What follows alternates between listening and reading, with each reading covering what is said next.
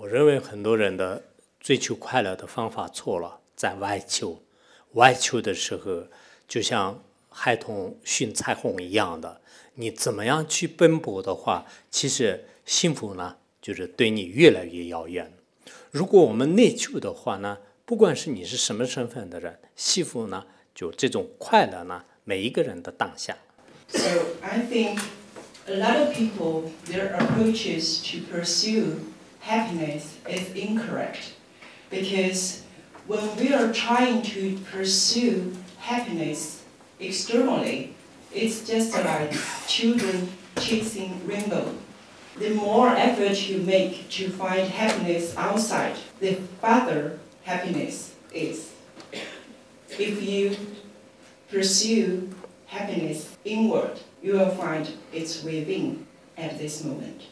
以前，嗯， 应该意大利吧，就是，呃，就是，嗯，米开朗基罗，他，呃，做这个大卫的时候啊，就是他去去市场考察，市场考察的时候呢，有一个大石头，嗯，别人问他问他，就是他是这么发现的，刚开始，然后他去，他说我去一个大菜市场的时候呢，我看到一个特别大的这种石块，这个时候我知道大卫呢就是可以在这里，然后我让呃工匠把上面就是除了他本身需要的以外呢，就全部也一个一个的去除，最后呢一次而大卫就是诞生了。其实这个是个很好的比喻，我们很多人呢。其实不需要，就是在外求，应该跟我们无相关的，不是我们的这样的负面情绪呢，让它呃离开，让我们自己安住于我们的心的时候呢，我们当下会带的得到就真实的一种本来的这种自我。So I think um, maybe it's in Italy. Um, uh, maybe it's in Italy. Um, in the past, um, Michelangelo, um, he uh, made the sculpture of David. And I heard the story about this was like this.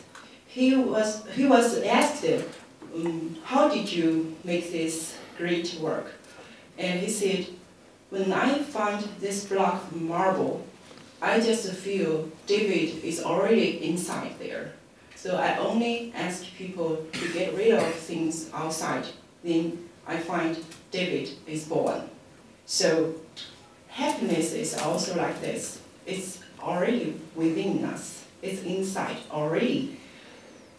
If you try or if you do meditation and you can calm down your mind, you will find if you abide in the nature of mind, all the irrelevant ideas, emotions, all the ideas or emotions which do not belong to us will go away. Then what you have is the innate happiness that you have already.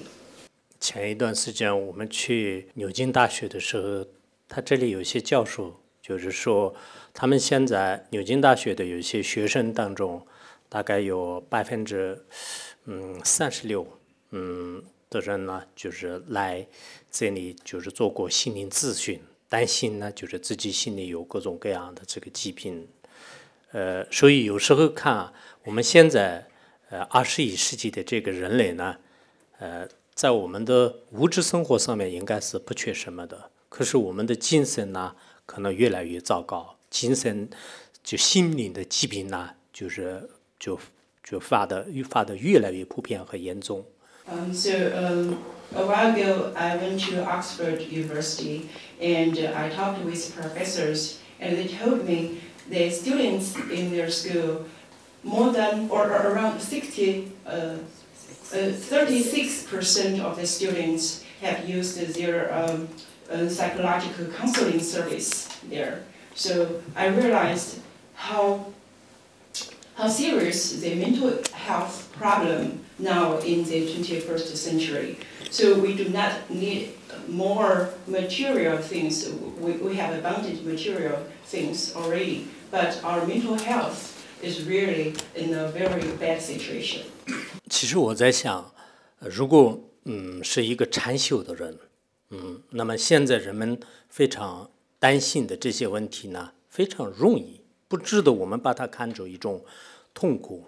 呃，有些人说我的这种心灵的疾病，因为压力很大，所以不行。有些人说我们这边的天气不好，就是所以，所以我心里就产生疾病。有些人说我跟人际关系搞得不好，有些人说是我感情不好。其实我是真的这样认为。作为一个真正的一些修行人来讲呢，你们所讲到的这些理由呢，就是根本不成为是对心理就是有一些危害和影响。If for a meditator or person who do meditation, a lot of problems which seems very serious may not be a problem at all. So they will find a lot of things so easy to cope with. Um, so when I heard about um, people have some mental illness, um, they will have their excuses or reasons why they have this kind of mental illness. They will say, oh, I'm stressed out. Uh, some people will say, oh, because the weather is too bad. Um, and some people will say, oh, because I cannot get along well with people. And some people will say, because um, um, my relationship with my girlfriend, boyfriend, or things are not going well. So I'm kind of depressed, uh, something like that. So for all these reasons, I don't think these are real, real reasons that can really harm your mind or make your um, mental health so bad. 不过现在，嗯，人们确实比较忙碌。嗯，我在呃在家乡在藏地的时候呢，写过一本书，叫做《你在忙什么》。因为很多人呢，呃，非常非常的忙碌。但是忙碌的原因，我观察到，以前我们没有电话的时候，只有可能家人对话可以。那后来呢，有有有线的电话。有线的电话呢，就是对方有电话线，我我有电话线，我们之间可以通。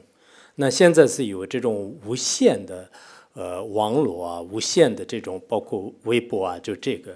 那这个时候呢，我们一个人呢，可以全世界的人都可以通话，就跟美国人的时差不同，跟中国人的时差不同，但是呢，都要都要跟你对话。那这样的话，可能我们的精力啊。是非常游戏的。我们的容器呢，就是是有限的，里面带来的各种的这种信息呢，非常非常的多。最后呢，可能我们的正常的这种思维模式呢，就是开始溢出来了，就是我们就变成了各种信息占用我们的内心之后，我们都已经成了可能不正常了。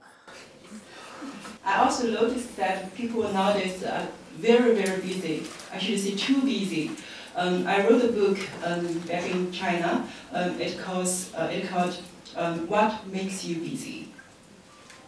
Um, because when we look at the reasons what really caused our life so busy, um, you can look it in this way. So in the past, we don't have telephone. We can only talk with our family members or our, our neighbors. That's the people we can associate with. And then later, uh, we have a landline and telephones. So we can make phone calls to other part of the world, or things, things like that. And now we have internet, we have WeChat. Um, so we can associate with um, people around the world. Although there are jet lag or time differences in different countries, but we can just contact people around the world at the same time. Um, but our container or the information that we can process, our ability to do that is limited. But because all the information, all the people we have to contact is too many, we really cannot handle this. That's why we get all kind of uh, abnormal. 有一种说法叫做是，呃，经济就解决今天的问题，政治呢就是解决明天的问题，宗教呢就是解决未来的问题。 呃，也许可能我们值得思考，因为，呃，有了经济以后，当前的很多比较方便，也可以解决。那么这个政治呢，就是可以可能在更长的时间呢，我们看到世界上的一些政治家的思想呢，还是流传就是几百年。但这个宗教呢，呃，我们回顾以前的历史也知道是它已经有了几千年的这种历史。那么将来的话呢，它的思想可以延续很多年。所以有时候我们这个人类呢，需要就是用宗教来。就是约束自己的行为，观察自己的言行。Uh, so I've heard uh, about this statement, the following statement, which says um, economics can help us to solve the problems of today, and politics uh, can help us to solve the problem of tomorrow, and religion can help us to solve the problem of future. I don't know if it's exactly um, the two things, but I think it's worth of our thinking. Um, because if you think about it, uh, think about it, you will find the current issues, current problems. We do um, uh, have find the answers or find the solutions in economics. Um, and also, uh, a lot of the political leaders really give us very good um, policies and strategies that help us to solve the problems maybe in the near future. However, religion, their profound ideas, profound wisdom can really help us um, and extend this wisdom into uh, maybe a long-term future, uh, all the problems in the future.